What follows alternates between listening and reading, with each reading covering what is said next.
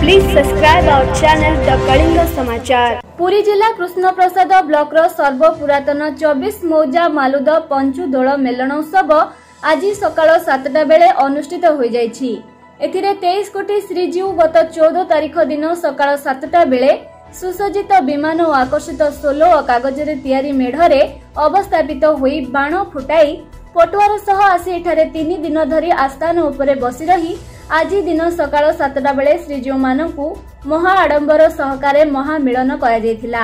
ଏହି ଉତ୍ସବ ଦେଖିବା ପାଇଁ ବହୁ ଦୂର ଦୂରାନ୍ତରୁ ଭକ୍ତମାନେ ଆସିଥାନ୍ତି। ଏହାର ମୁଖ୍ୟ ଆକର୍ଷଣ ହେଲା ଶ୍ରୀଜୀଉମାନଙ୍କର ପ୍ରତିଯୋଗୀ ମେଢ।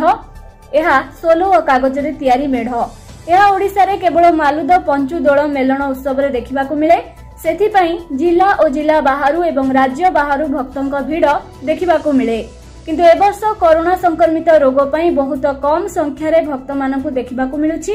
ପୁରୀରୁ ପ୍ରତାପ ହରିଚନ୍ଦନଙ୍କ ରିପୋର୍ଟ କଳିଙ୍ଗ ସମାଚାର।